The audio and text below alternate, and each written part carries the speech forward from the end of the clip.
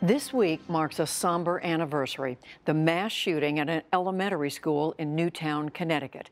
In the five years since, many of the parents who lost their children that day have been pushing to reduce gun violence. One group, Sandy Hook Promise, has taken that effort right into the schools. Special correspondent Lisa Stark of our partner, Education Week, traveled to Miami to visit the first school district to implement the program. It's part of our weekly segment, Making the Grade. Miami's John Ferguson High School spills over with more than 4,000 students, the largest school in the district.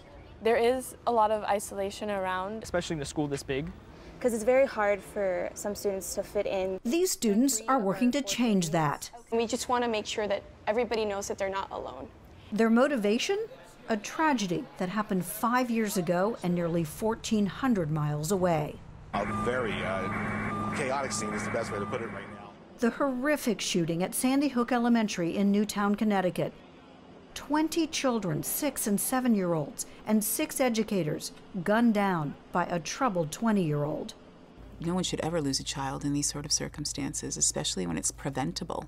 Nicole Hockley's six year old son, Dylan, died in his first grade classroom, her grief magnified by what she found out afterwards.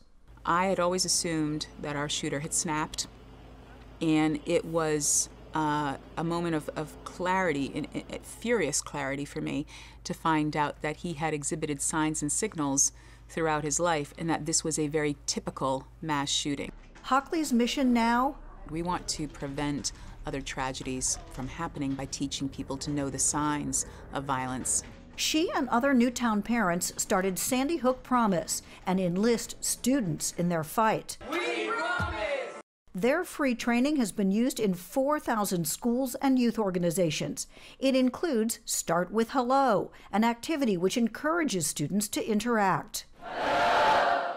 And a program called Say Something, teaching students to tell an adult if they see signs someone may be a threat to themselves or others. This isn't about snitching or being a tattletale. This isn't about getting someone in trouble.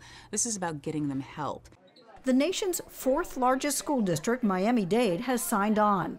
Sandy Hook Promise trainers have visited more than 100 schools here. A lot of atrocities in schools, school shootings and such, stem from students who were either bullied or isolated. And so by dealing with this problem, we're hoping that we can minimize anything coming up in the future. Dewey Cornell, who has analyzed school violence for decades, says that is precisely the point. You don't prevent a forest fire by waiting until the trees are all ablaze. Uh, you pay attention to all the campfires. You make sure all the campfires are taken care of. And, uh, and we have incidents of bullying all the time in our schools. And, and the more that we can do to deal with these minor conflicts before they escalate into more serious ones, uh, the better off we'll be. Reducing violence in schools isn't just about reaching students. Experts who studied the issue say it's also important that teachers and administrators react sensibly to any safety concerns. Is a student posing a threat? All right, is the student on a path toward an attack? A team from every school in Miami Dade is learning how to identify, evaluate, and handle possible threats. They're taught to take threats seriously but not to overreact. We had a child who chewed his Pop Tart into the shape of a gun and was suspended from school. Uh, after the Sandy Hook shooting, a first grader in Maryland uh, went pow pow with his finger and was suspended from school. These are fearful overreactions that send a really negative message throughout the school. Uh, this girl doodled on her desk. Cornell, who developed this threat assessment training after the Columbine school shooting in 1999, believes districts that use zero tolerance policies make their schools less safe, students less likely to report concerns. If a threat is vague or if somebody is clearly angry, um, you want to err on the side of caution. This training includes exercises. What should a school do if a student threatens to beat up another? And what if a teen has a hit list? Seriously, because I see an escalation. The goal, not to automatically expel the student, but to address the underlying problem. What I'm taking away today is that not everything can be solved with a suspension. It takes really bringing those students together, letting the, the victim feel heard, letting the one who, you know, did the bullying understand what he did or she did. It's really changing our mindset.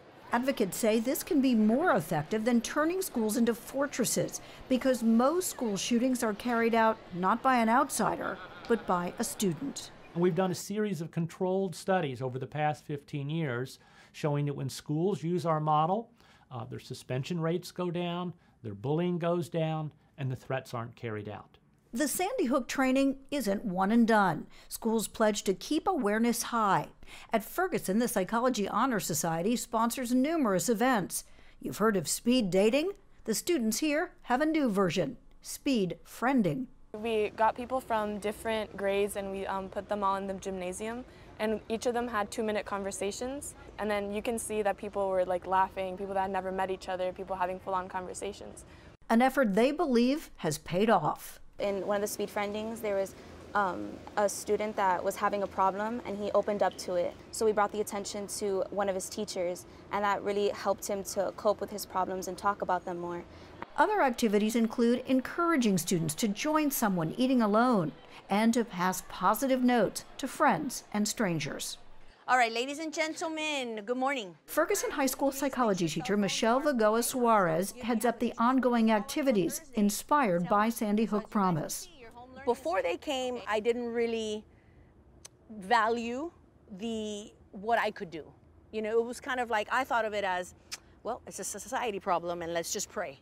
You know, but when Sandy Hook came, they gave us the power to say, wait a minute, but we can stop this. Why are we going to sit back and say, well, we'll react when it happens? It's hard to measure how much of a difference all this really makes. Sharon Kranz oversees the effort in the Miami Dade schools.